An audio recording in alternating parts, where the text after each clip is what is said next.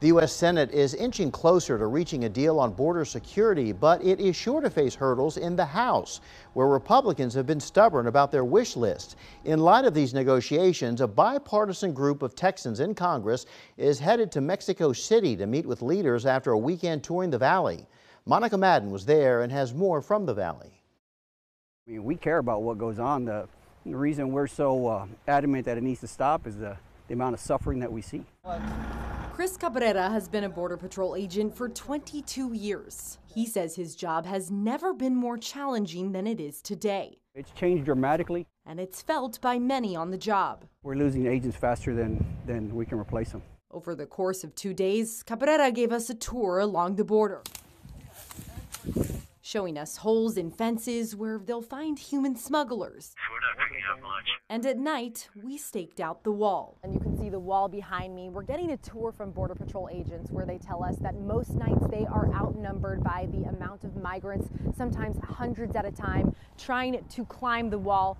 We spotted a group of 22 migrants, including unaccompanied children and a baby. It's very dangerous to, to, to come across that river, much less to be a, a small child.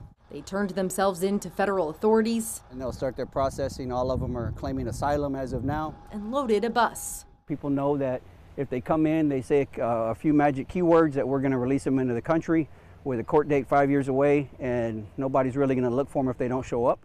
Cabrera doesn't blame groups like we saw, but the policies. It's easier to get into this country illegally than it is to get in here legally. So, of course, they're going to take advantage of that. We are witnessing a human tragedy. That was part of why we went on this trip to tag along with a bipartisan group of Texas congressional members.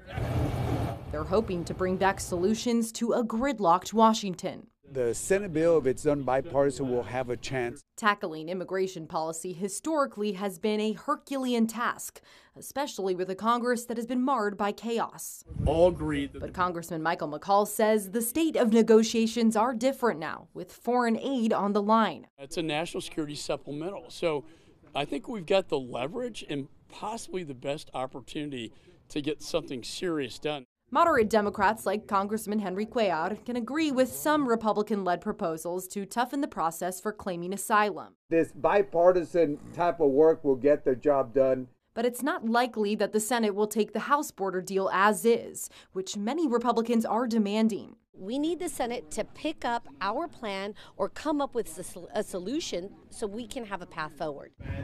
Agents like Cabrera just want lawmakers to see it the way he does. It's not a Republican or Democrat issue, it's a, it's a humanitarian issue. In the Rio Grande Valley, Monica Madden, KXAN News.